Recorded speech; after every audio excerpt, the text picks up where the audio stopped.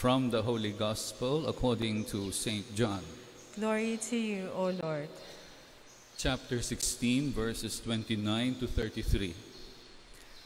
The disciples said to Jesus, Now you are talking plainly and not in any figure of speech. Now we realize that you know everything and that you do not need to have anyone question you. Because of this, we believe that you came from God. Jesus answered them, Do you believe now? Behold, the hour is coming and has arrived when each of you will be scattered to his own home, and you will leave me alone. But I am not alone, because the Father is with me. I have told you this so that you might have peace in me. In the world, you will have trouble, but take courage. I have conquered the world.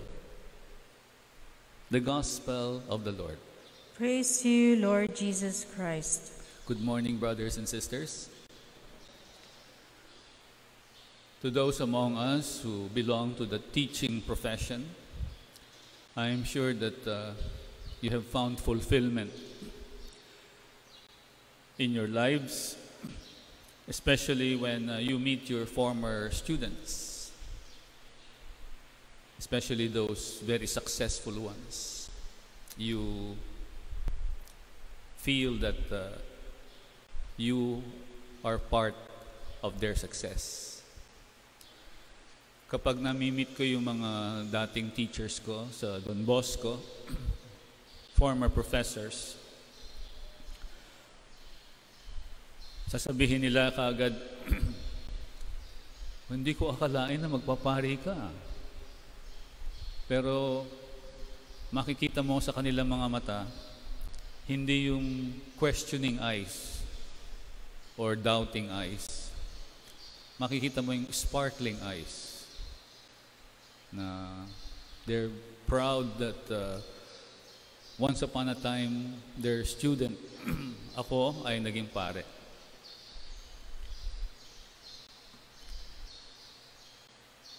The disciples in the gospel now claim to understand exactly what Jesus has taught them.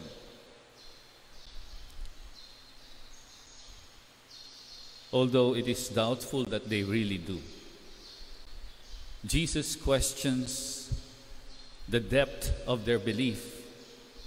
Very soon, in just a few hours, when they go to the Garden of Gethsemane, because this is still in the context of the Last Supper. They will be scattered in all directions and leave Jesus alone and abandoned. Jesus is our teacher. And in the gospel, he shows so much compassion and patience to his students.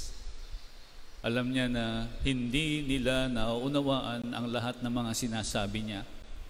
Subalit meron siyang confidence na pagdating ng Espiritu Santo, unti-unti nilang maunawaan ang lahat ng mga tinuturo niya sa Kanya. At yan ang ating pinaghahandaan sa darating na linggo, Pentecost Sunday. We all share in the teaching mission of Jesus Christ by virtue of baptism. Ano yung threefold mission na ipinagkatiwala sa atin kahapon, Ascension Sunday, by virtue of baptism, servant leadership, priestly ministry. We are all priests. Ang pagkakaiba ko lang ay uh, I share in the ministerial priesthood. But we are all priests by virtue of baptism. Pag sa bahay, si kuya, si ate, si mami, si daddy, pag nag-lead ng Bless us, O Lord, and these thy gifts, you are acting as a priest already when you lead in prayer. Kaya pag may mga meeting, uh, huwag kayong magtuturuan pag sinabing, uh, who would like to volunteer to pray? Opening prayer. May nagtuturuan yan. Oh? Huwag. Huwag kayong magtuturuan. Dahil lahat po tayo ay may karapatan mag-lead ng prayer. We are all priests. And pagdating ng closing prayer, nagtuturuan na naman. Huwag. Dapat eh, kayo mismong nagbo-volunteer. Dapat i- nag-aagawan kapag may opening prayer and closing prayer. And prophetic mission. Yung prophetic mission, yan yung uh, teaching mission. We cannot uh, pass on the baton of faith to the next generation if we do not teach the faith. We do not communicate the faith. Kaya lang, sinabi ng Panginoon, In the world you will have trouble. Many will not accept what we would like to proclaim. Pero kahit na hindi ito tatanggapin, Jesus assures them, Take courage, I have conquered the world. This is not a uh, political conquering, it is a spiritual conquering. So, my dear brothers and sisters, in this Eucharistic celebration, let us continue to prepare ourselves for the celebration of Pentecost. Let us open our hearts and minds. Let us be aware of the mission that the Lord has entrusted to us, even in the times of this uh, pandemic. Kahit na puro social media lang ang ating means of communication. Let us always remember the words of Jesus in the gospel.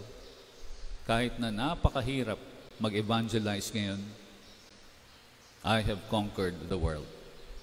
The Lord will conquer this pandemic. And time will come, mapupuno uli ang ating mga simbahan kahit naka-face mask lahat.